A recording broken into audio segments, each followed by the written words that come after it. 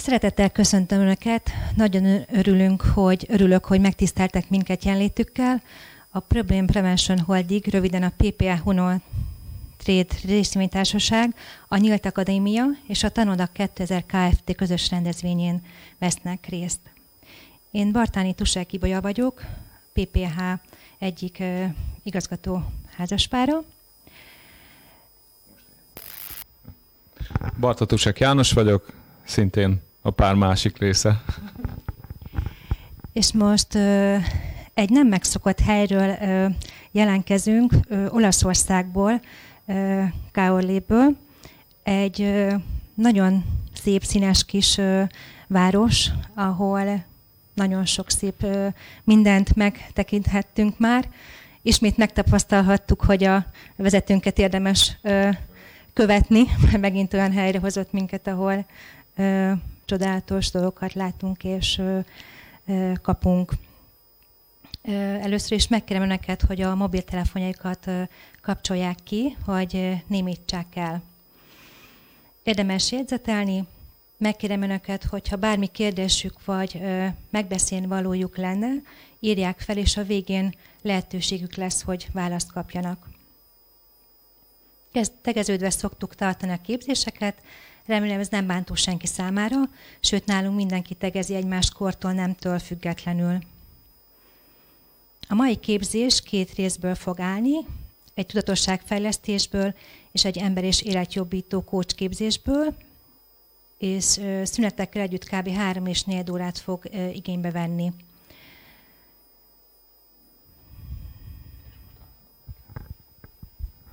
Köszönjük szépen, Ibolya! A mai képzésünket a legnagyobb tudású és tapasztalatú mesterkócs és boldogság specialista, a szervezetünk alapítója és vezetője fogja tartani. Ő az egyik legismertebb mesterkocs, személyiség és képességfejlesztő szakember. 1984 óta Budapesten él családjával. Feleségével Mariannal kiegyensúlyozott boldog családi élete van. Két fiúgyermeket neveltek föl. 1987 óta foglalkozik emberekkel. 91-től szervez embereket, és azóta van saját szervezésű csapata.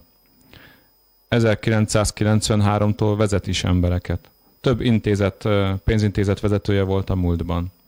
1996-tól kezdett a spiritualitás felé nyitni. Jelenleg Magyarország egyik legnagyobb független spirituális szervezetének a vezetője. Irányításával a PPH négy különböző területen lett piacvezető.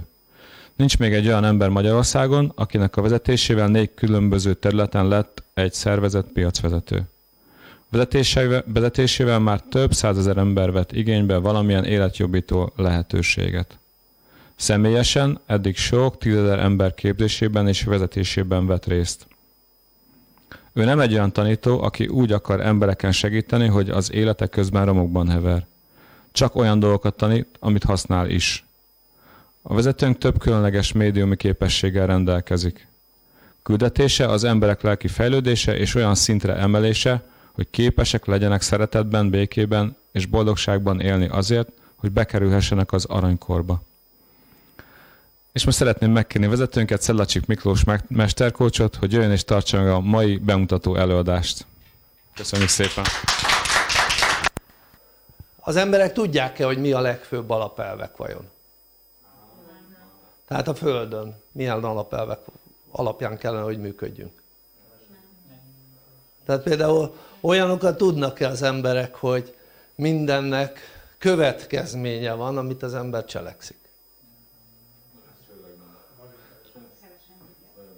Tehát az emberek azt gondolják, hogy a véletlenek alapján történnek dolgok? Szerencse alapján? Hát most gondolj bele, hogy melyik lenne a jobb, hogyha ha véletlenek alapján működne az élet, vagy ha minden kiszámítható lenne? Aha. Tehát mi alapján gondoljuk, vagy esetleg gondolhatjuk azt, hogy jobb úgy, hogyha véletlenek alapján történik? Hát valószínűleg azért, mert ezt tanítják az embereknek, nem? Tehát ha a véletlenek alapján történnének a dolgok, akkor akkor a mögött az egész mögött nem lenne teremtés, nem? ki az aki hisz valamilyen teremtésben, teremtőben, Istenben oké? Okay? na most ha, ha létezik olyan hogy Isten én, én egyébként hiszek benne, sőt nem hiszek hanem tudom mert megtapasztaltam tehát ha mondjuk nem létezne Isten akkor vajon hogy jött volna létre bármi a világegyetemben tehát ha, ha nincs teremtés akkor hogy jött, jöhetett volna létre bármi a világegyetemben na most nem tudom te az életedben bármit amit létrehoztál ha nem hoztál volna létre létrejött volna tehát olyan hogy valami magától létrejött az életben olyanról már találkoztál valamilyen ilyennel? tehát hogy magától létrejött tehát akkor jön valami létre ha valami értelmes lény létrehozza nem? tehát miért azt képzeljük csak el az életünkben hogy, hogy mi vagyunk az értelem csúcsa és csak az hozható létre amit az ember létre tud hozni. Mert nem ezt hisszük tehát ezért bekorlátozzuk saját magunkat mert azt gondoljuk hogy mi szuperintelligens lények vagyunk bizonyos dolgot tudunk létrehozni és azon túlmenően nem lehet létrehozni semmit mert mi azt nem tudjuk emberek létrehozni. De miért kell abból kiindulni hogy mi vagyunk a legintelligensebb lények a világegyetemben nem elképzelhető az hogy hogy nálunknál vannak sokkal intelligensebb lények akik sokkal nagyobb dolgokat tudnak létrehozni. Mondjuk például úgy hogy létrehoznak egy bolygót. Előtte meg egy napot. Sőt létrehoznak egy naprendszert. Sőt létrehoznak egy galaxist. Sőt létrehoznak egy egész univerzumot. Hát most gondolj bele hogy lennénk értelmesek ha van 80 év tudásunk átlagosan. 80 év alatt túl sok tudást nem lehet összeszedni. Ha most gondolj bele mennyi tudást tudnál összeszedni ha lenne mondjuk 800 éved? Vagy lenne mondjuk 8000 éved? Vagy lenne mondjuk 80 millió éved? Ahol a tudást gyűjtöd és nincs törlés, nem törli, nem veszi el senki, vagy nem törli ki senki. És csak mióta léteznél vagy mióta a világegyetem létezik vagy te létezel addig csak tudás hogy gyűlne, gyűlne, gyűlne, gyűlne, gyűlne, gyűlne akkor, akkor is ennyire lennél képes mint most? azt gondolod? esetleg nem gondolod azt hogy akkor többre lennél képes? Hm? Hát nyilvánvaló, ha megnézed mennyire képes egy 5 éves, vagy mennyire képes mondjuk egy 25 éves, vagy egy 50 éves, nem? Hát azt látjuk, hogy nem lehet összehasonlítani. Mert ha az ember, persze, nyilván mondjuk 25 éves között és 50 éves között nincs nagy különbség, de mondjuk egy 5 éves és egy 25 éves között elég nagy különbség. Miért nincs különbség a 25 éves és az 50 éves között jellemzően? Hát azért nincs, mert 25 éves korban abba adják a fejlesztésüket az emberek, a saját fejlesztésüket. Tehát általában 25 éves korig fejlesztik magukat, vagy fejlesztik őket, nem? És utána fogják és azt mondják, hogy hú, de szuper okos vagyok, innentől kezdve többet nem kell tanulnom. Miért nem ezt csinálják? És abba hagyják az önmaguk fejlesztését és onnantól kezdve miért lenne intelligensebb meg okosabb 50 évesen mint 25 évesen ha nem fejleszti tovább magát logikus a dolog? hát akkor gondoljuk végig hát mi lenne egy ember feladata itt ebben az életben tehát most gondoljátok végig hogyha hiszünk a teremtő Istenben nem? akkor az mondhatjuk azt hogy mindenható nem és létrehozott dolgokat a világegyetemben létrehozta mondjuk mondjuk a bolygókat, létrehozta mondjuk a, nap, a naprendszereket, stb. stb. Létrehozta az embert, létrehozta az emberi lelket, És most gondoljátok végig mondjuk a, egy szuperintelligens lény, amely képes arra, hogy ilyen dolgokat hozzon létre, az egy magába hozna létre mindent, mert nem bízna senki másban, és azt mondaná, hogy mindent magamnak kell létrehozni, és én bizalommal sen, senki irányában nincs, mert hát senki nem megbízható annyira, hogy társul fogadjam. Én nem hiszem, hogy a Teremtő Isten ilyen ostoba lenne, nem? Tehát ha valaki azt képzeli, hogy a Teremtő Isten mindent egyedül teremtett a világegyetembe, akkor lehet, hogy nagy tévedésben él. Sőt, nem lehet, hanem biztos, hogy nagy tévedésben él. Tehát most gondolj bele, hát te is társat kerestél a párodban, nem? Nem? Tehát te, a legtöbb ember a bolygón nem egyedül éli le az életét, nem? Hanem társat keres egy párban, sőt, ha megnézed, a gyerekeid is a társa, társad, nem? Nem a társad? Hát a gyereked is társad. Sőt, nézd meg, milyen társulások vannak még az ember életében, vagy lehetnek az életében. Ha most gondolj bele, az Atya Isten, vagy a Teremtő Isten, az nem hívja a társulásnak, mindent egyedül csinált meg, de azért az ember az társuljon, nem? Hogy fér össze ez a két dolog egymással? Nem, hát ha az ember valamit jól csinál, akkor azt szeretné továbbadni, nem? Tehát akkor nem az van, hogy ha van egy tudásom, akkor megtartom magamnak. Nem? Tehát akkor ugye úgy kellene az életünket élnünk, hogy egy kicsit túl kellene lépnünk azon a léten, amiben vagyunk. Tehát úgy kellene egy kicsit gondolkodni, hogy túllépünk azon, amiben vagyunk. Tehát mi itt vagyunk emberek, gyűjtjük a tudást vagy tapasztalatot, a legtöbb ember megáll 25 éves korban a tudásgyűjtésben, és akkor elképzeli azt, hogy, hogy ezzel a tudással, ami van, persze nem lehet létrehozni bolygókat, nem lehet létrehozni naprendszereket, meg napokat, meg stb., meg galaxist, meg, meg univerzumot, persze nem lehet létrehozni, de hát miért kell magunkból kiindulni? Tehát eleve ott kezdődik, hogy neked melyik a jobb. Tehát neked személyesen melyik a jobb. Mint elv, ott a fejedben melyik a jobb.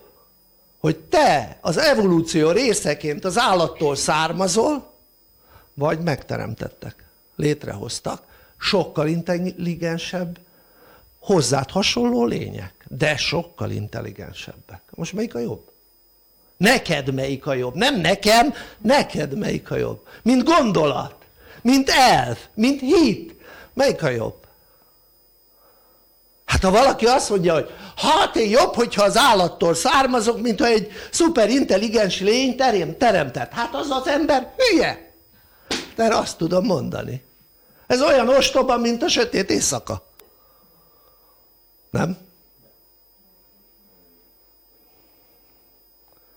Na most ha onnantól kezdve, például, gondoljátok végig, mit tudom, létrehozták a mi testünket. Nem egy nagy kaland, mert, mert már van emberi próbálkozás, ugye, ilyen kísérletekben, hogy most klónozzunk embereket, meg hozzunk létre ezt, azt, azt. Mit tudom én, növényeket már rég kitaláltak, hogy mit tudom én, narancsból meg citromból csinálnak, mit tudom én, hogy hívják, citrancsot, mindegy. Ja, tehát annak van valami neve, tudjátok, hogy hívják, azt már nem tudom mi a neve, de az ember is csinál ilyen kísérleteket. Tehát akkor miért képzeljük azt, hogy mi nem mondjuk egy, hát egy ilyen teremtés, ahogy az ember megteremti teremtett bizonyos növényekből, vagy növények keresztezéséből új növényt, meg stb. Minket miért nem így csináltak? Szerintetek? Hát így csináltak, nem? Hát logikus. Tehát létrehoztak minket. Na most akkor nézzük meg, itt van a testünk, egy viszonylag egyszerű dolog, mert anyag. Bár ugye az ember számára ez nem tűnik egyszerűnek, de mégis mondjuk ahhoz képest a testedet megnézed mondjuk egy bolygóhoz képest, akkor én azt mondanám, hogy az egy egyszerű anyag, nem? Mondjuk egy egész bolygóhoz képest a testünk az egy egyszerű anyag. Tehát, hogyha testünket létrehozták, akkor onnantól kezdve bármit létre lehet hozni, még magasabb intelligenciával, nem? Na most akkor viszont van egy kérdés, a testünkben van egy lélek. Ki az, aki hisz abban, hogy van benne lélek? Egyértelmű, nem? Hogy van benne, van lelkünk. Hát ezért vagyunk értelmesek, mert van lelkünk. Tehát ha nem lenne lelkünk, akkor úgy élnénk, mint az állatok, ezért szokták is mondani egy ilyen olyan emberre, akinek ilyen állati megnyilvánulásai vannak, hogy nézd már az állatot. Nem? Vagy szokták azt is mondani, hogy figyeld már a lelketlen embert, nem? Tehát a rossz, gonosz emberre azt mondják, hogy lelketlen. Tehát aki ilyen állatiasan működik, arra azt mondják, hogy lelketlen, nem? Tehát azért vagy, kép, vagyunk képesek értelmesen működni, mert van, van bennünk lélek. Na most akkor ez a lélek honnan származik?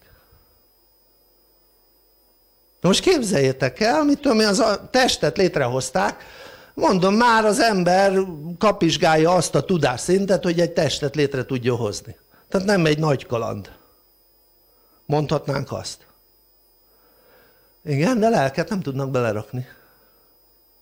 Tehát mondjuk, ha létrehoznának így egy testet, az egy állatszerű működést tudna produkálni. Az nem lenne értelmes lény. Tehát van a lelkünk, amit ugye, hát ki hozott létre? Hát csak valami nagyon szuperintelligens lény hozhatott létre, nem? Gondold végig. Logikus, én csak logikus dolgokat mondok. Tehát ugye arra azt javaslom, hogy gondolkodj logikusan. Tehát gondolkodj logikusan. Tehát itt van a lelkünk. Hát hogy jöhetett ez létre? Hát vannak olyan tanítások, hogy minden leszület, tehát megszületéskor ugye megteremt, beleteremtenek abba a testbe egy lelket. Hát jó, de ki? Hát ki teremt vele? Tehát ha ez így lenne, ha ez így lenne, akkor is annak valami intelligens lénynek kéne lenni, nem? És akkor képzeljétek el mondjuk azonos percben, hány test születik a bolygón? És akkor ide-oda rohangál, hogy belerakjon egy lelket, vagy mit csinál? Érted? Gondold végig. Hát hogy tudja megoldani? Egyedül. Hm? És hogy tudnám megoldani úgy, hogy mi ne lássuk? Nem, hát most beszélek azoknak, akik ugye el vannak azzal a gondolattal, hogy, hogy mint amit a keresztény mondjuk Bibliában tanítanak, vagy a teológiában tanítanak, hogy, hogy hát a, akkor lettünk, a lelkünk akkor lett teremtve, mikor megszülettünk. Hát hogy? Nem lehetséges. És akkor akkor mennyire igazságos az a dolog, hogy valaki mondjuk gazdagnak születik, a másik szegénynek születik, a harmadik, mit tudom, bénán születik, a negyedik holt egészségesen, tök jó szülőkhöz, stb. stb. A másik meg csapnivaló szülőkhöz, van akinek szüleje sincs. Hát egy, egy szuper intelligens Isten, aki a világ legigazságosabb lénye, csinál egy ilyen nagy igazságtalanságot, biztos, nem? Nem tudom, ki gondolja ezt komolyan? Hogy, hogy ezt, ezt művelni. Hát nyilván nem fogja ezt csinálni. Tehát akkor ezt csinálna, akkor az nem egy jó Isten lenne, nem? Hát és akkor ugye miért született valaki mondjuk jobb családban, miért született valaki rosszabb családban, miért született valaki mondjuk olyan környezetbe, ami nehezebb környezet, miért született valaki könnyebb környezetben, miért született valaki egészségesebbnek, miért született valaki betegesebbnek. Hát egyetlen egy magyarázat van erre, semmi több. Tehát nincs kettő, nincs három, nincs négy, egy. Hát azért születtünk oda, mert azt érdemeltük. Világos?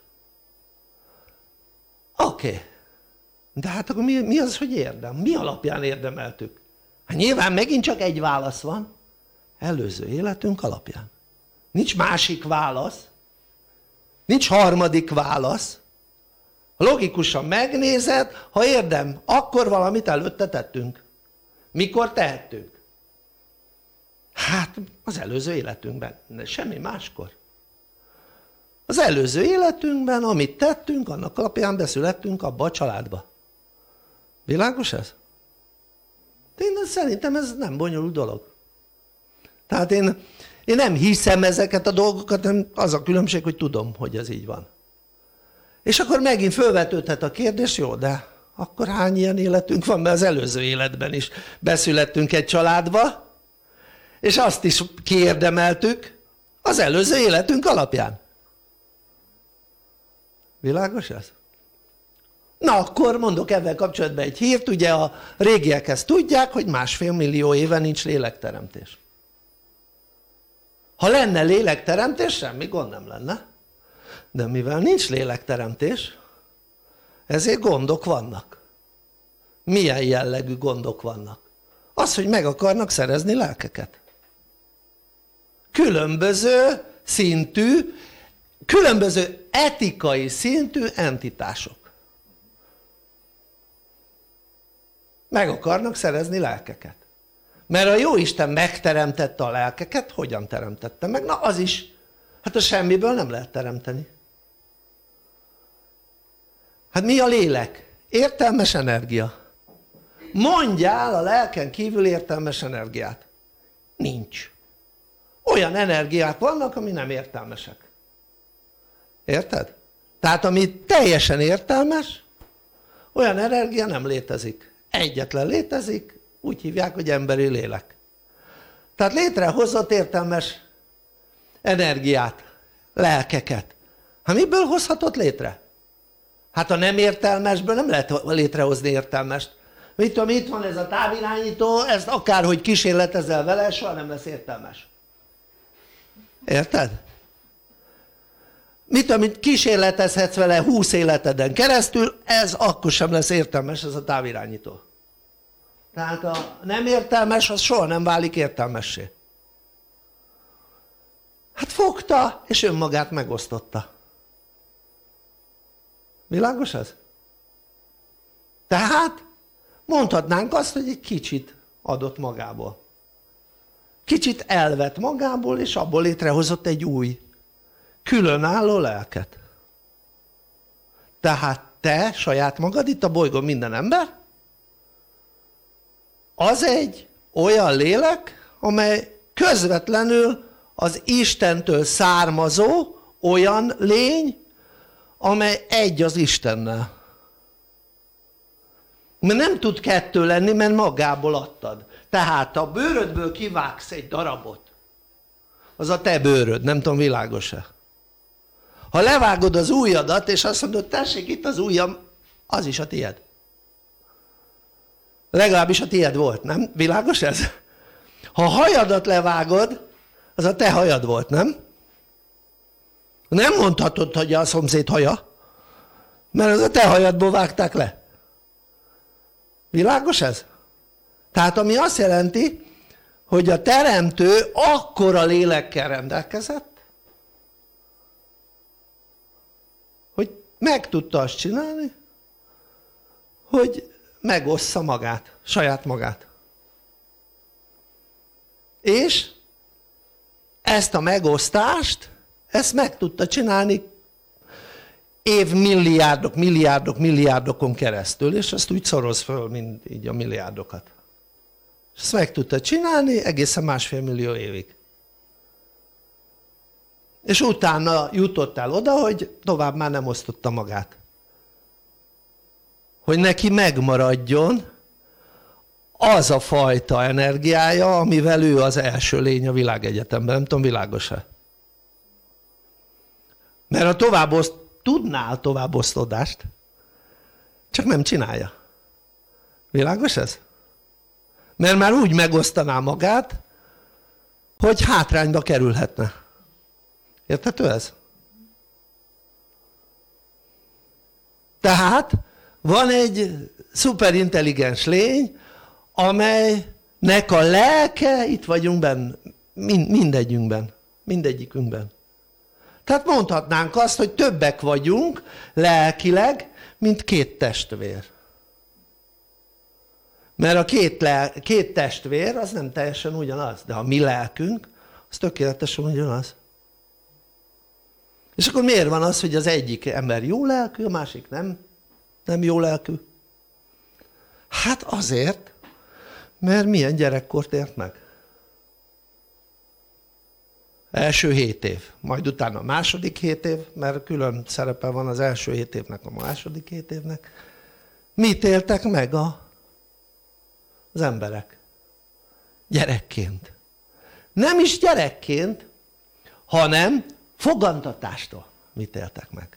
Tehát úgy lehetne osztályozni, hogy nulla, tehát az a fogantatás, majd a megszületés, hogy az a nulla időszak. Az kilenc hónap. Az egy külön időszak. Majd jön a megszületéstől 7 éves kor, majd jön a 7-től 14-ig, majd jön a, 7, a 14-től 21-ig. Na ez a gyerekkor. 21-jel befejeződik a gyerekkor. És 7 éves korig, amit az ember megél, az egy az egyben minden, az a szüleire vezethető vissza. Minden, semmi önmagára. De az ember mielőtt megszületik, olyan szülőkhöz tudja, hogy olyan szülőkhöz születik be, amelyik majd olyan dolgokat, illetve azok a szülők olyan dolgokat csinálnak, ahol megéli az ember azokat az élethelyzeteket, amit az előző életében nem jól csinált, illetve ki kell javítani. Ki kell javítani. Vagy nem fejezed be. És be kell fejezni. És ezáltal, hogy beszületik olyan szülőkhöz, megéli azokat az élethelyzeteket, hogy megcsinálja, befejezze, stb. Na most innentől kezdve gondoljátok végig, ha meg van szervezve, hogy, mely, hogy milyen családba szülessünk. Tehát kezdjük azt, hogy meg van teremtve a lelkünk, meg van teremtve a testünk. Tehát minden teremtett világ. Utána beszületünk egy olyan családba, aminek oka van. Megkapjuk azokat a tanításokat, oktatásokat, élethelyzeteket, problémákat, amit megélünk, az, azáltal válunk olyanná, amilyenné válunk. És ugye az a dolgunk, hogy kiavítsuk, megtanuljuk, megtapasztaljuk azt, amit az előző életben nem csináltunk meg. Vagy nem jól csináltunk. És mi emberek végigcsináljuk ezt az utat, addig még meg nem halunk. Na most, de hogy csináljuk ezt végig? Tehát akkor nincs fölöttünk egy intelligensebb lény, szerintetek? Most kérdezem tőletek, akik tudom, hogy ti tudjátok, hogy van, de mondjuk azok, akik esetleg majd néznek engem élőben, és úgy gondolják, hogy, vagyis felvételről, és úgy gondolják, vagy most akár élőben, hogy nincs ilyen, akkor gondolkozzatok el rajta hogy akkor kell, hogy legyen. Tehát ami azt jelenti, hogy itt a Földön, tehát a világegyetemben minden teremtett, akkor itt a Földön nekünk az utunk, az vajon nem egyengetett? Tehát magyarul azt mondják, hogy azok a szuperintelligens lények, hogy na most leküldtem ezt a lelket a földre, belerakjuk ehhez a családhoz ebbe a testbe, majd megél élethelyzeteket, aztán elpusztul, mint a öt éves korában, akkor elpusztul. Gondoljátok, hogy így állnak hozzá? Hát aki valaki így gondolja, hogy így állnak hozzá, akkor az valami nagyon nincs, hiányos tudással rendelkezik, tehát valami nincs rendben. A tudás az nagyon hiányos. Na most nézzük meg, mondjuk a fenti világban ez hogy működik. Jó? Tehát ez úgy működik, hogy vannak olyan lelkek, tehát ugye a lelked az nem látható. Látható a lelked? Hát ha belenézel a tükörbe, akkor nem a lelkedet látod, hanem a testedet, nem? Tehát a lélek az általában nem látható, de mégis vannak olyan emberek, akik látnak szellemeket. Tehát szellemlényeket látnak. Na, azok lelkek. A szellemlények azok általában lelkek. Vannak más típusú szellemlények is, de általában lelkek. Tehát látnak lelkek. Tehát a lélek az valamilyen módon nem a szemünkkel, hanem valami mással látható. Ez a harmadik szem. Ugye hallottunk róla. Amit általában a kereszténységben bezárnak. Lecsuknak. Tehát vagy egy mozdulattal lecsukják, vagy egy keresztel lezárják.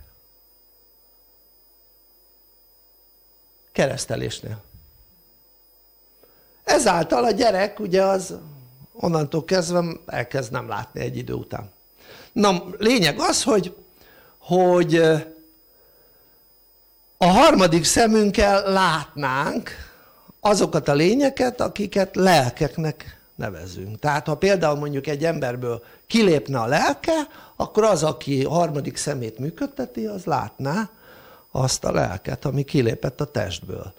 Tehát látná mondjuk egy halottból kilép a lélek, akkor látná, vagy valaki képes arra, hogy kilépjen a testéből életében, akkor azt látná. Na most, ami annyit jelent, hogy mi emberek láthatnánk ugye a lelkeket, tehát van rá lehetőség, hogy lássunk lelkeket, de ugye erre van akinek van joga, van akinek nincs joga, hogy lássa. Ezt most miért mondom? Mert a lelkek azok nem háromdimenziós lények hanem az ott kezdődnek, hogy négytől fölfele, hét dimenzióig van lélek, ami azt jelenti, hogy negyedik, ötödik, hatodik, hetedik dimenziós lelkek léteznek. És azokat mi fizikálisan nem vagyunk képesek érzékelni. Azokat csak más érzékeléssel lehet érzékelni. Na most, és most gondold végig, mi lehet vajon egy, a dolga, mondjuk egy negyedik, ötödik, hatodik, hetedik dimenziós léleknek, mondjuk a világ mindenségben. Mert mondjuk mi itt most három dimenzióban létezünk, és mi lehet a dolga? Tehát mi lehet a dolga? Tehát mi lehet a dolga mondjuk egy olyan léleknek, amely tudja mi az, hogy szeretet, tudja mi az, hogy béke, tudja mi az, hogy biztonság, érted? És tehát képes arra, hogy legnagyobb szeretet elven működjön, akkor vajon mi lehet a dolga? Tehát mi lehet a dolga? Tehát megnézed, mi lehet a dolga vajon a szuperintelligens lényeknek. Tehát ugye van egy alap dolog, nyilvánvaló, mint az embernek, hogy fejlesz a tudását. Hogyan fejlesztheti a tudását? Hát ha megcsinál olyan dolgokat, ami viszonylag egyszerű. Tehát itt vagyunk mi emberek, itt van az életünk, csinálunk időnként jó dolgokat, időnként ostabaságokat, időnként meg csak úgy vagyunk. Nem? Például, amikor mondjuk ostobaságokat csinálunk, akkor jöjjön egy kis segítség. Nem? Valahonnan. Na most. Hát egy, ugye egy szellem lény, amelyik nincs testben, az fogja és átmegy a falon. Annak nincs anyag akadály. Tehát olyan, hogy anyag akadály nem létezik. Tehát egy tudatlan lélek, tehát mit tudom én most, a legtöbb emberből kiszállna a lélek, akkor nem tudná azt megcsinálni, hogy mondjuk emelgesse a tárgyakat. De egy fejlettebb lélek ezt meg tudja csinálni. Mert ő ennek, erre van tudása. Sőt, azt is meg tudja csinálni, hogy mondjuk bevigye egy illetőt egy helyzetbe. Mit tudom én mondjuk létrehozzon, én sok elemzést csináltam már olyat, hogy valamilyen baleset elemzést. Mondjuk autóbalesetet. És volt olyan autóbaleset, amit hívtak, hogy elemezzek ki, ahol volt az egyik autóban három utas, a másik autóban egy utas. Tehát összesen négy autó. Négy utas volt a két autóban, összepuszíkodtak, hogy a két autó összetört, személysérülés nem történt, és minden utassal elbeszélgettem, és minden utassal megállapítható volt, hogy miért kellett részt venni a balesetben. Tehát maga a baleset az ő életében milyen figyelmeztetést, milyen jelet mutatott.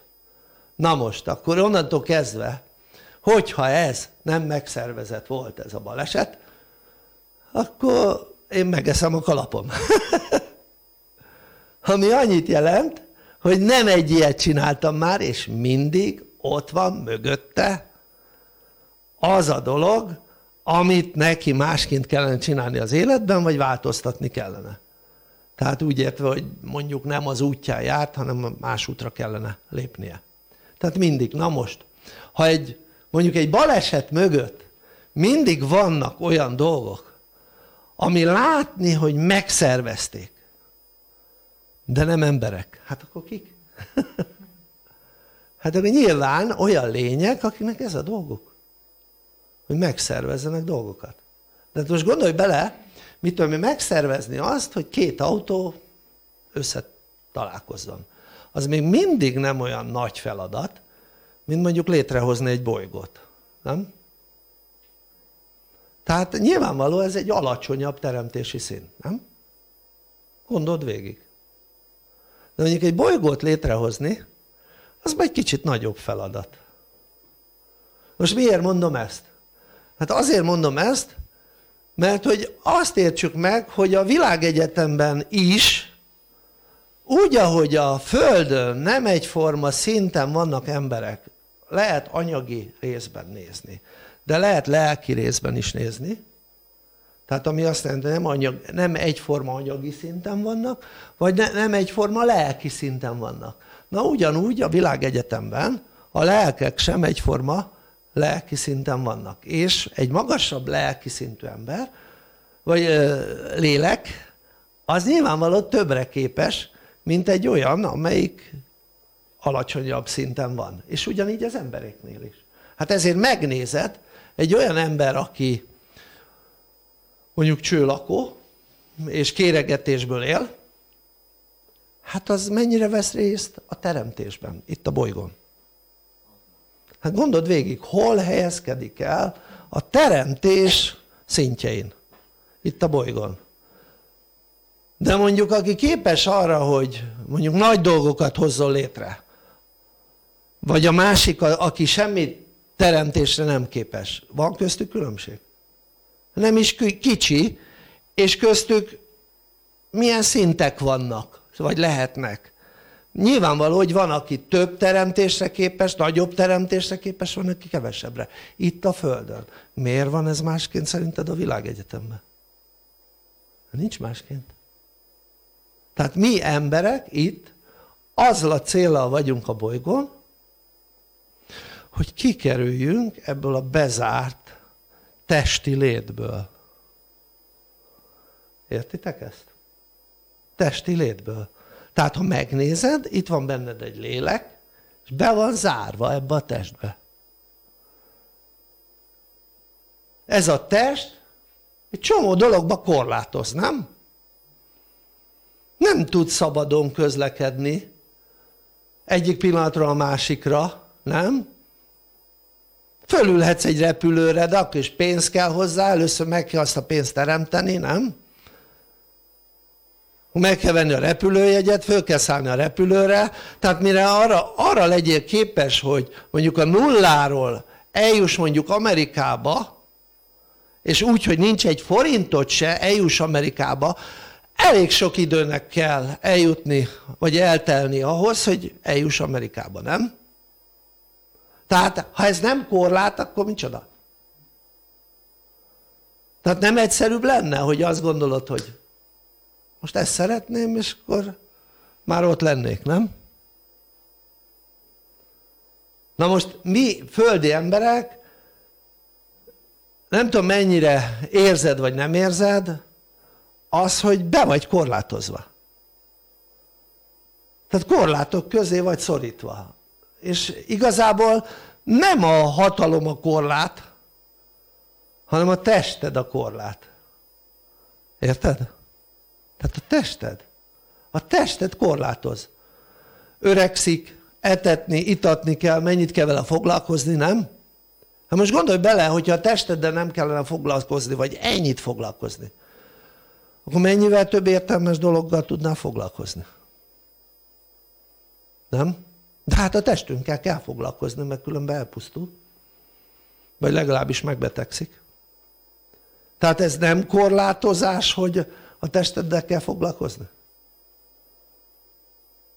Hát addig, míg a testeddel foglalkozz, nem tudsz, foglalkozz, nem foglalkozol, nem tudsz fejlődni. Nem? Mert nem tudsz tanulni addig.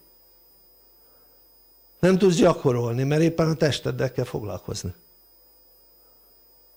Tehát mi emberek azért születtünk ide, hogy megéljük azokat az élethelyzeteket, és feljussunk egy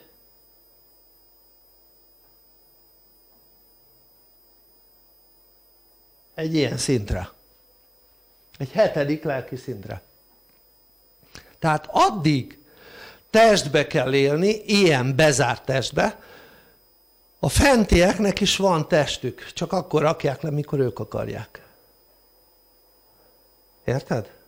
És olyan testük van, hogy nem kell nekik 24 óránként 8 óra alvás.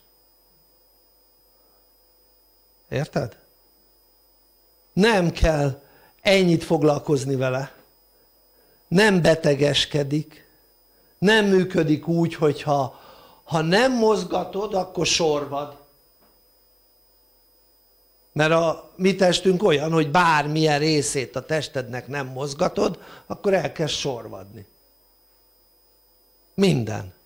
Minden része a testünknek. Tehát az olyan test, ami ezt nem csinálja. Érted? Attól még kinézhet úgy, mint a te tested most. De mégse csinál ilyeneket. És akkor nem mondjuk 80 évet él, hanem mondjuk 8000-et. A test. Érted? Most gondold végig, milyen másabb lenne, hogyha jó dolgokat csinálnál az életedben, tehát figyelnél arra, hogy jól csináld a dolgokat, és jó dolgokat csinálj, és utána mondjuk följutnál mondjuk a beteljesülés szintjére, és utána nem törölnék a tudásodat. És folytathatnád egy újabb testben, mondjuk egy jobb konstrukciói testben, érted? Úgy, hogy megmarad a tudásod. De úgy, hogy gondold végig, hogyha most beszületné gyereknek, ugye csecsemőnek, tudással, akkor megint bajba lennél. Mert nem tudnád használni a tudásodat a tehetetlen testben. Tehát akkor először is, ugye egy olyan test kellene, amiben ha belehelyezed a lelkedet, akkor már az egy kész személy legyen, érted? Amely kész úgy cselekedni, ahogy te gondolkodsz. Mert egy csecsemő nem tud úgy cselekedni. Na, csak azért mondom, mert odafönt a fentiek így működnek. Tehát amikor kiöregszik az a test, akkor lecserélik, és bekerül egy olyan testbe, amelyik már felnőtt. Érted? De akkor használja csak azt a testet, hogyha mint fizikai dolgot kell valamit létrehozni. Tehát, hogyha szellemi dolgokat kell létrehozni, akkor nem kell a test. Csak a fizikai dolgokhoz. Érted? De az is, hogy a fizikai dolgokat úgy értsd, hogy valamit össze kell rakni, össze kell szerelni. Mert ilyenhez kell fizikai test. De ahhoz nem kell fizikai test, hogy mondjuk az illető közlekedjen. Mert a testet szállítani kell egy mondjuk egy repülő, vagy egy űrhajó, de a lélek egyik pillanatra a másikra bárhol képes lenni. Tehát olyan kis hitűek vagyunk saját magunkkal. Tehát azt gondoljuk hogy mi ide vagyunk azért létrehozva hogy itt szenvedjünk ezen a bolygón. Nem ezért vagyunk létrehozva. Mi azért vagyunk létrehozva hogy innen valahonnan túlélés biztonság szintje. Mert ezen van a legtöbb ember. A legtöbb ember a túlélésért küzd, a legtöbb ember biztonságban akar lenni. Valóban följussunk, jussunk fölfele. De nagyon érdekes mert ezt a hármas, négyes, ötödik lelki szintet ezt nem lehet csapat nélkül, saját saját magad által létrehozott csapat nélkül átlépni nem lehet. Nem lehet valóban tartozni csapat nélkül. Nem lehet elismerést adni, kapni, ha nincs saját csapatod. Tehát lehet egy közösséghez tartozni úgy, hogy becsatlakozik valaki. De elismerést adni, kapni csak úgy lehet, hogyha az a saját csapatod önmegvalósítás? Az azt jelenti hogy a tudásodat átadod a csapatodnak. Ha nem saját csapat hogy adod át? tehát ugye amikor az ember embereket tanít akkor egyáltalán nem mindegy hogy megéle élethelyzeteket.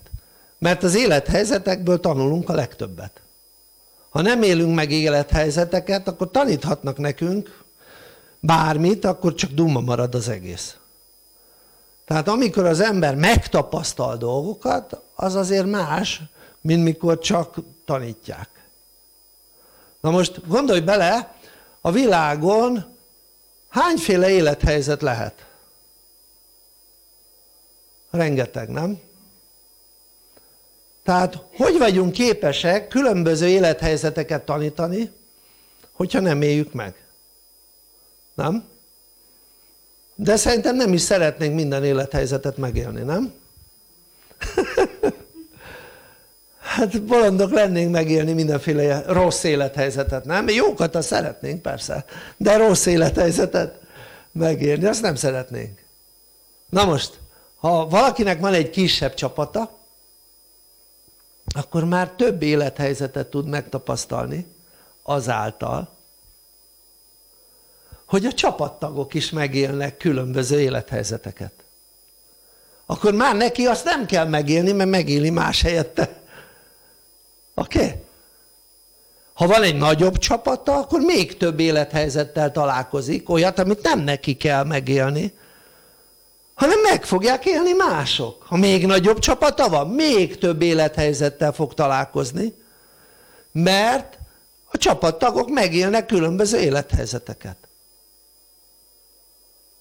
És ha az ember találkozik élethelyzetekkel és azt a csapatot ő hozta létre vagy ő általa nem jött volna létre ha ő nincs érted? tehát az a csapat nem jött volna létre ha ő, ha ő nincsen ezért ugye tőle származik az a csapat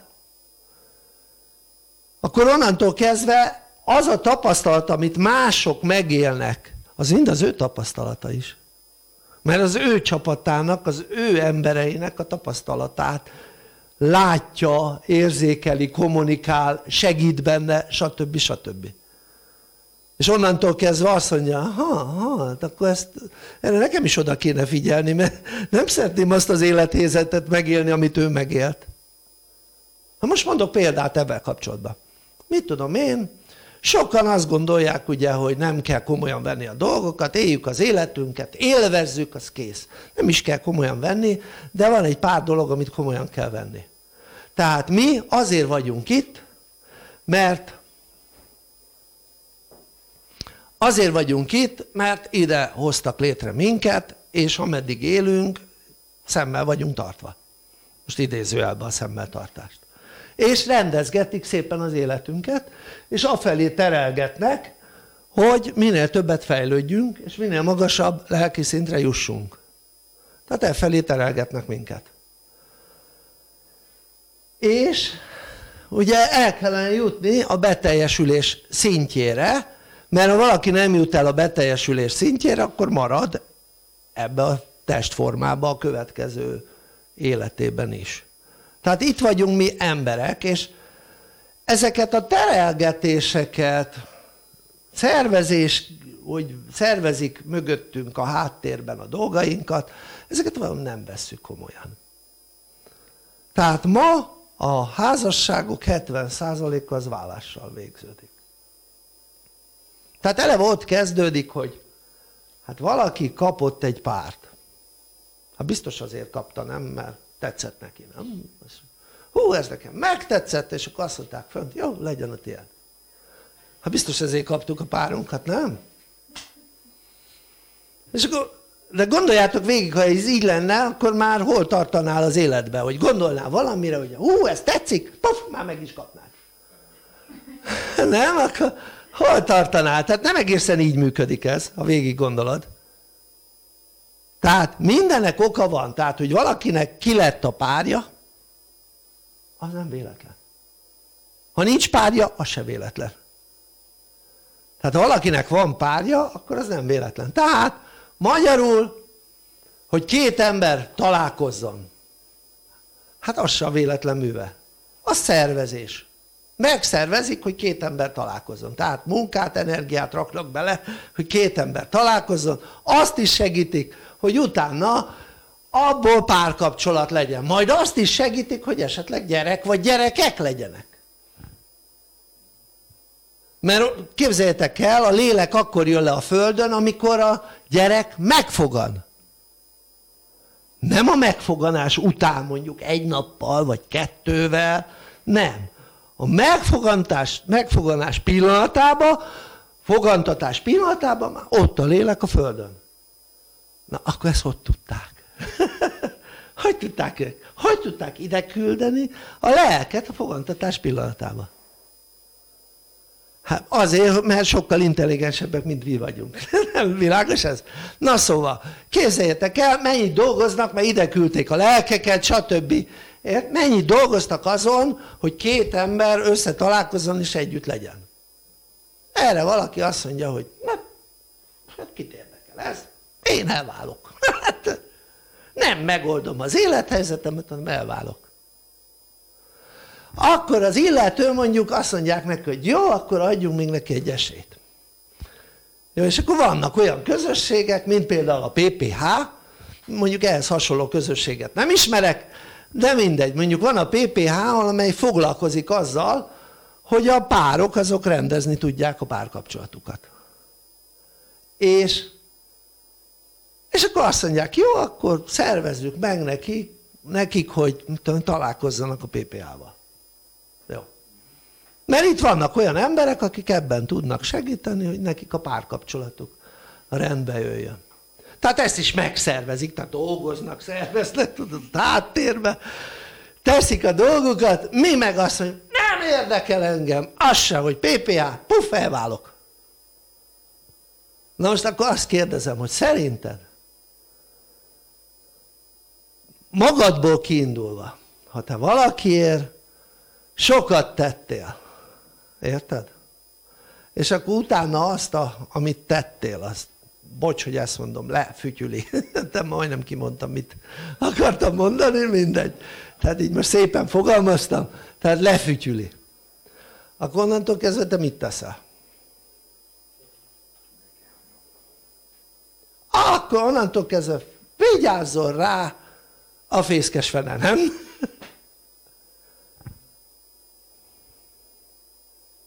Érted? Tehát az emberek nem tudják, hogy, hogy az életben nem lehet csak úgy bármit csinálni. Tehát mindennek következménye van. Tehát az embernek nem az a dolga, hogy csak úgy, hát majd valahogy alakul az életem. Az ember tanulhat, fejlődhet, tanulnia, meg fejlődnie kell, kötelező. Ezért születtünk. Tehát a lelked ezért jött le, hogy fejlődjön. És ezért törölték, mielőtt leszülettél, mert az a tudás, ami az előző életedben volt, az most nem kell, érted? Most képzeld el, beszülettél volna, még egyszer mondom, beszülettél volna csecsemőként azzal a tudással, amit az előző életben megtapasztaltál. És akkor ott vergődtél volna éveket, mire egyáltalán mondjuk járni tanultál volna, nem? Illetve megtanultál volna járni, meg beszélni. De akkor még nincs semmi, mert attól, hogy most jár egy gyerek, kisgyerek, meg beszél, attól még olyan sokra nem képes, nem? Tehát olyan nagy feladatokat nem tudsz rábízni, nem? Tehát és gondolj bele, hogyha azzal a tudással most nem egy, egy, ami van neked tudás, nem ebbe a testbe lennél, hanem mondjuk egy csecsemő testbe, vagy egy két éves testbe. Hogy éreznéd magad? hát elég fura lenne. Hát ezért van az például, hogy valaki, mit tudom én mondjuk felnőttként, baleset éri és tolószékbe kényszerül, és onnantól kezdve nem tud tovább többet járni, és kiszolgáltatott. Hát elég nagy kín és szenvedés az élete, gondolt végig? Mert kiszolgáltatott, pedig a tudás alapján ő már nem kiszolgáltatott helyzetben lenne, mert nem is abban volt. Érted? Most képzeld, ha egy olyan kiszolgáltatott helyzetben lenne egy ember, hogy a tudás alapján egy csecsemő testbe születne bele. Érted? Tehát ami, ezt most azért mondom, hogy ért, megértsétek, hogy miért kellett törölni leszületés előtt az összes tudásod, ami előtte volt. Mert nem bírtad volna ki egy mozgástehetetlen testben, érted? Tehát egyszerűen nem bírtad volna ki avval a tudással, ami neked előzőleg volt. De most gondold végig, melyik a jobb. Tehát az a jobb, hogy hogy azt hiszed, tehát hiszed, hogy van segítség, és van segítség, ezt nem csak hinni kell, erről meg tudsz győződni, hogyha ebben hiszel, akkor meg tudsz győződni, mert arról tudsz meggyőződni, amiben hiszel. Tehát amiben nem hiszel, nem tudsz meggyőződni. Tudod miért nem? Mert nem fogsz utána járni. Tehát amiben nem hiszel, nem tudsz meggyőződni róla, mert nem jársz utána. Tehát arról tudsz meggyőződni, amit hisz, amiben hiszel. Tehát mit tudom én, mondjuk van egy kaja, és ha nem kóstolod meg, akkor nem fogod tudni azt, hogy az jó vagy rossz. Nem? De azért kóstolod meg, mert mondjuk azt mondják, hogy az jó. És akkor elhiszed, hogy az jó, megkóstolod, és onnantól kezdve meggyőződtél róla, hogy az jó. Világos ez? Tehát, akkor nézzük meg, mi mit is csinálunk, jó?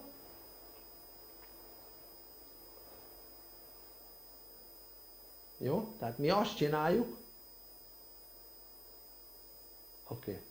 Az embereknek eljuttatjuk azt a tudást és gyakorlási lehetőséget, amelyek által olyan élet és emberi serethez jutnak, hogy képesekké váljanak az élethelyzeteik helyes kezelésére, a problémáik megoldására, illetve megelőzésére, a célok elérésére, továbbá az emberek és az élet jobbítására, lelki fejlődésre.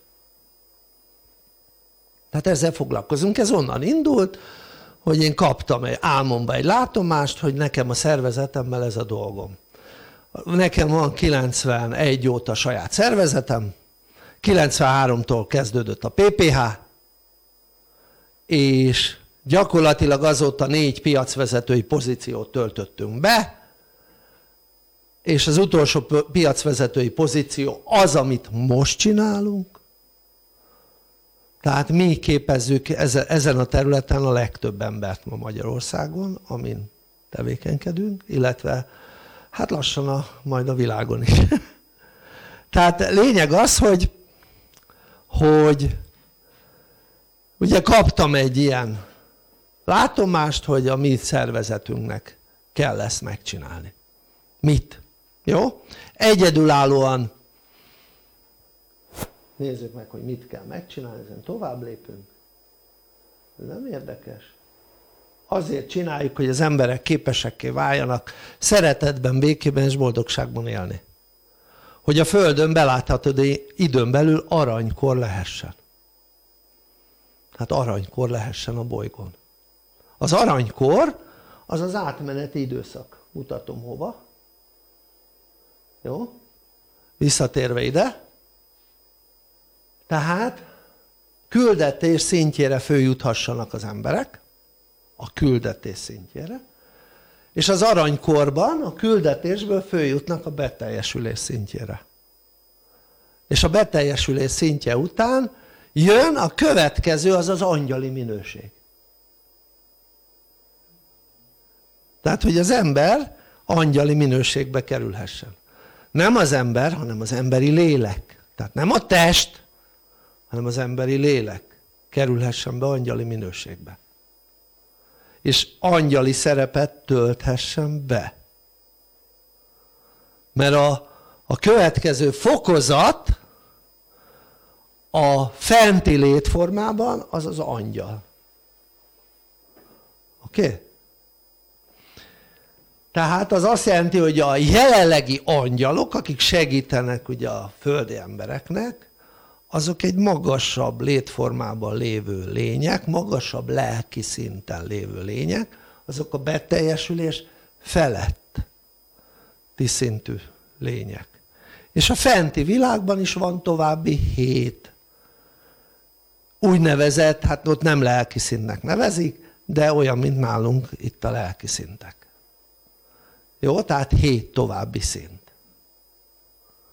és ezek, ezeket az iskolákat, hét osztályos iskolákat, e, itt ezt a földön kell megélni, ebben a testben, és utána pedig egy kicsit szabadabb és szeretetteljesebb élet várhat az emberi lelkekre. Emberi lelkekre. Tehát ugye az aranykorhoz visszatérve, ugye az a gond vele de már nem is oda megyek hanem ide a végéhez. Mindjárt mutatom tehát ilyen a képzésekben egyébként fontos mert nincs lelki fejlődés ha valaki nem tud önmagával bánni. Nem tud másokkal bánni, a párjával, szüleivel, gyerekeivel, munkájával, pénzzel, környezetével, hatóságokkal, teremtővel, valaki ezekkel nem tud bánni, akkor ebben a földi létben komoly gondjai lehetnek, és nem képes a lelki fejlődésre. Tehát ezért ugye végig a, olyan ismereteket nyújtunk az embereknek, ami által ezeket meg tudják csinálni. Tehát ilyen képzéseink vannak, hogy etika coach, eredményes tanulás önismeret coach, hangulatjavító coach, személyességfejlesztő coach, elnyomás feloldó coach, önbizalomteremtő coach, szeretetteremtő coach, párkapcsolat coach, gyermeknevelés coach, egészségteremtő coach, boldogságteremtő coach, célmegvalósító, kommunikációs hoppá, emberi bánásmód, hatékonyság, növekedés, pénzteremtő, líder, szervezetvezető, tehát probléma megoldó, sikerteremtő, szervezéskocs, marketingkocs, konfliktus feloldó kocs. Tehát olyan, ami az élethez szükséges. Hát és ugye hát elég nagy ostobaságra val, ha valaki azt gondolja, hogy neki nem kell tanulni az emberrel és az élettel való helyes bánásmódról, illetve ezekben nem kell fejlődnie. A lelki fejlődés egyébként az egyetlen út, amelyen teljesen végig kell mennie mindenkinek. Vagy végig kellene mennie mindenkinek. Hát, ha nem akar szenvedni, akkor végig kell menni. Ezen az úton nem lehet megállni, vagy lelépni róla, mert mindenféle nehézség és zaklatottság fogja az illetőt a hatalmába keríteni. Itt fordítok rajta az nem lelki fejlődés, ha magadért fejlődsz, másokért fe, kell fejlődni. A lelki fejlődés az egyetlen út, amelyiken tehát teljesen végig kell menni. Vagy fejlődsz, vagy szenvedsz. Nincs más út. Tehát én megkaptam azt az üzenetet is, hogy, hogy van egy bizonyos idő, most nem fogok róla részletesen beszélni, ami alatt meg kell csinálni a bolygón az aranykort azokat a személyeket, akik erre nem hajlandók, azokat kivonják az élők sorából. És ez, elmond, az időt azért csak elmondom, 15 év. Tehát szó szerint kivonják az élők sorából. ami azt jelenti, hogy ebben a testben nem élhetik meg azt az időszakot. Még lehet újra születni, semmi gond nincs. Ezzel be lehet születni egy olyan családba, amelyik bejut az aranykorba, de a többi az nem fogja megélni. És ha, ha kell, azt is megcsinálják, hogy ha nagyon, tehát nem iparkodunk eléggé, akkor egyszerűen fogják és kivonják azokat az embereket, akik megérdemlik a magasabb szintű létformát, a többit meg a bolygóval együtt eltüntetik. Érdés mond. Tehát hiába csinálnak itt föld alatti bunkereket, meg ilyen baromságokat, ha szétrobbantják a bolygót. Jó, nem akarják ezt, mert nem akarják, mert ugye az létre lehet hozva ez a bolygó, de az a baj, hogy az ember gondolkodásának energiája az nem pozitív a világegyetemre nézve, illetve a világegyetem ezen részére nézve. Tehát a fentiek energiáját nem növeli, növeljük, hanem csökkentjük a gondolkodásunkkal. És azokat az embereket ki kell vonni, akiknek olyan a gondolkodásuk. És ez elsősorban ugye a negatív energia, a negatív gondolkodásra igaz. Tehát az ember a gondolatával teremt. Minden gondolatoddal az életedben teremtesz vagy pozitív dolgot, vagy negatív dolgot. És a legtöbb ember már a bolygón nem pozitív dolgot teremt a gondolataival, hanem a negatív dolgot.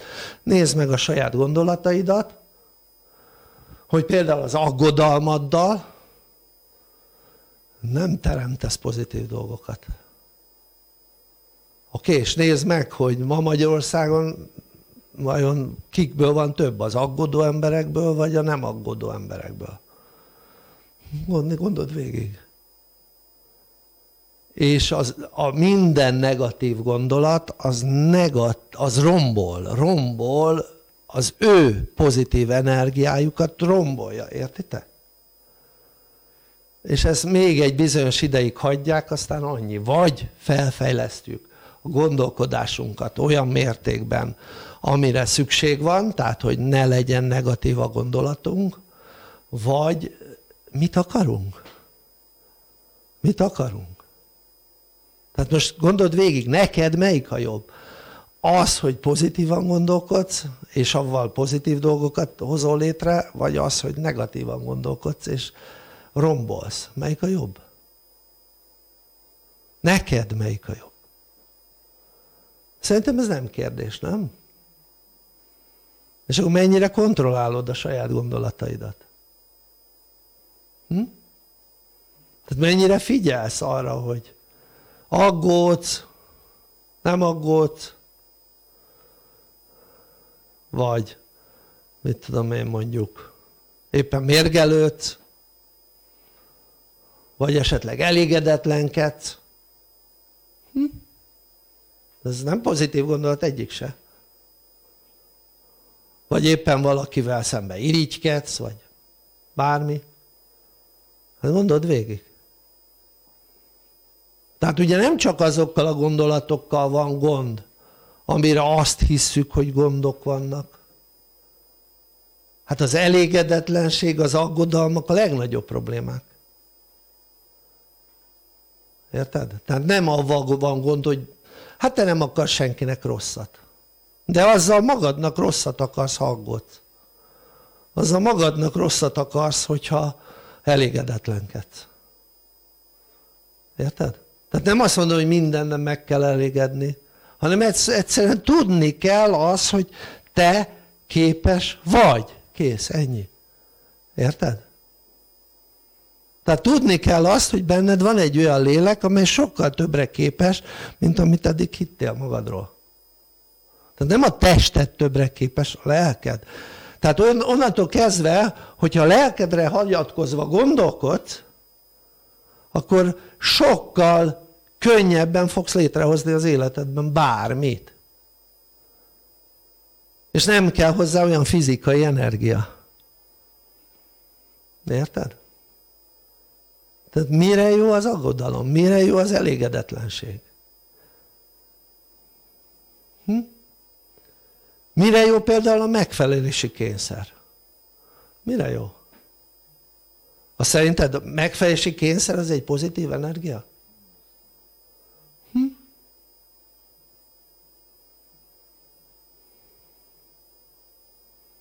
Oké? Okay?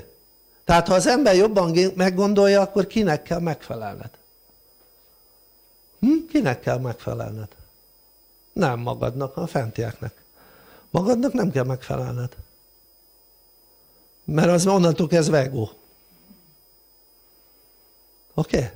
Tehát végig kell gondolni, hogy most jelen esetben a fentiek mit szeretnének. Érted?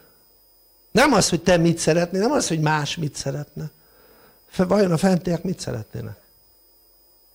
Mondjuk a teremtő mit szeretne? Oké? Okay? Ez nem bonyolult, ez egy, egy gondolat. Egy. Érted? Tehát azt szeretné, hogy ezt csinálja? Biztos, hogy ez jó nek, mindenkinek, mert nem csak nekünkről szól a történet. Tehát ott kezdődik, hogy nekünk, a családunk, közösség, emberiség, az élővilág, oké, okay, az élettelen dolgok, akkor a lélek, szellem, teremtő, és akkor így áll össze a világ. És ezt megnézzük, ezek nem mind jó, amit csinálunk? Tehát amit csinálsz, mikor éppen aggódsz, vagy éppen ezt csinál, valamilyen negatív gondolat van a fejedbe? Oké? Okay? Jó? Tehát gondold végig, melyik a jó? Tehát melyik a jó?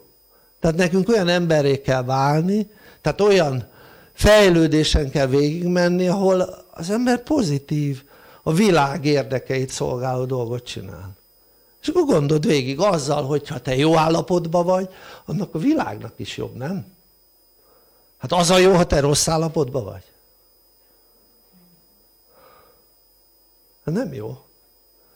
Hát gondold végig, ami kicsiben, az nagyban. Tehát, hogyha te jól érzed magad a bőrödben, ha te élvezed a, a teremtésedet, a létedet, akkor az a világ számára is jó. Nem? Az, hogy kinek meg esetleg ezzel kapcsolatban ellen érdeke van, azt meg lesajnáljuk. Oké? okay? De ennyi. Nem ez a lényeg, hogy egyesek ennél ugye a gonosz az rosszat akar, hát ez most kit érdekel a gonosz, nem? De tudjuk, hogy létezik, aztán annyi. De nem, hogy már a gonoszat szolgáljuk, nem? Tehát ha mi nekünk olyan az energiánk, akkor a gonosz az labdában nem rúg. Oké? Okay? No, tehát, hogy lehet ezt ugye elérni? Ha bármi kérdésed van, akkor fordulj ahhoz, aki meghívott, nézz utána a pph.hu-n, tehát péterpéterhugo.hu-n, illetve ha esetleg olyan kérdésed van, akkor fordulj a vezetődhöz, vagy az irodánkhoz, a weboldalon minden elérhetőséget megtalálsz. A képzéseink bárki számára elérhető díjon vannak, jó? Vannak díjmentes rész, van a fizetős rész, jó, köszönöm szépen a figyelmeteket, és visszadom a szót a házigazdánknak. Szeretlek benneteket, sziasztok!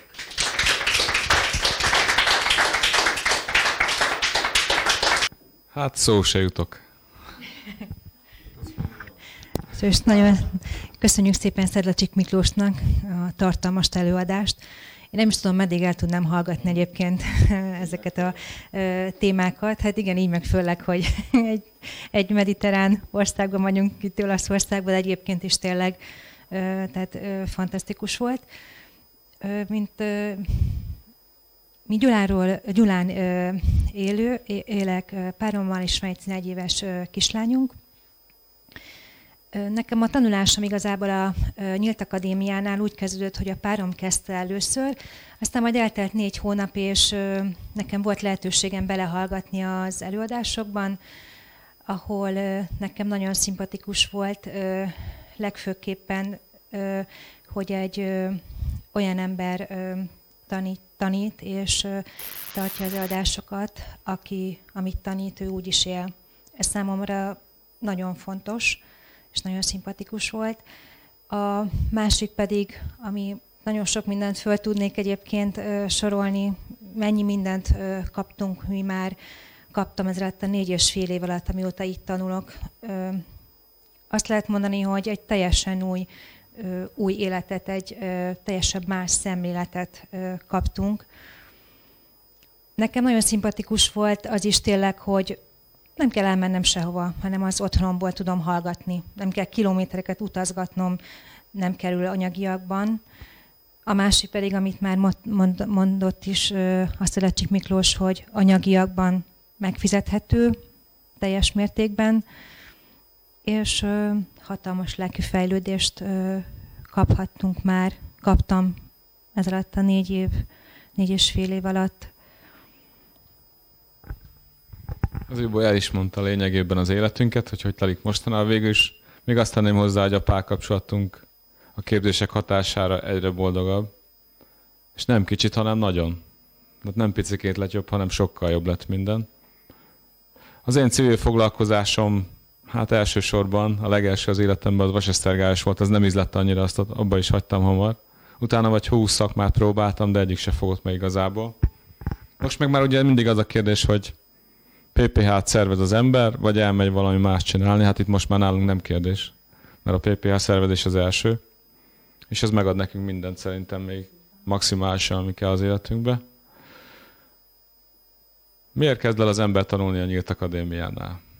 Sokan vannak így ebben, hogy ha meghallgatnak egy előadást, és többször tapasztaltam, hogy megtalálják azt az egy pontot, ami tüske épp az ő gondolkodásukba. És nekik mondom, hogy nekem nem egy ilyen tüske volt, nekem több volt. Én vitáztam a Szedlacsik Miklóssal az elején. Aztán deltek múltak a hónapok, és ugye kitartottam, kitartottunk, hogy azért hallgassuk az előadásokat. Elkezdtem elcsendesedni. Hát most meg már nem szoktam vitázni, mert lehet, hogy vannak más módszerek, és vannak más tanítók is, de hogy itt vannak a legegyszerűbben alkalmazható tanítások és gyakorlatba átvihető dolgok, az biztos, mert én aztán kipróbáltam mindent, módszereket. Hát itt el is mondtuk, hogy mit adott nekünk a Nyílt Akadémia. Úgy látom a feleségem meg mondani akar valamit. Es. Nagyon sok minden tényleg eszembe jut ilyenkor egyébként engem, ami még nagyon megfogott. Tehát egy teljesen független szervezet a Nyílt Akadémia, tehát vallás és politikamentes, ahol semmi befolyásolás nincs engem, ez is nagyon megfogott egyébként. Most csak még ezt így hirtelen Jó, rendben. Meg is mondtuk, hogy mit tanácsolunk másoknak. Kezdjék el, ne gondolkozzanak rajta, kezdjék el. Keressék meg a kapcsolattartójukat, és kérdezzék meg, mit kell tenniük. És a szünet után leszoktató kulcsképzés fog következni. Akinek van lehetősége, az meg tudja nézni. Egyszer ingyenesen megnézheti bárki kóstolóképpen. Akit meg nem érdekel, attól elköszönünk, és örülünk, hogy itt volt. Most pedig 20 perc szünet fog következni. Köszönjük szépen!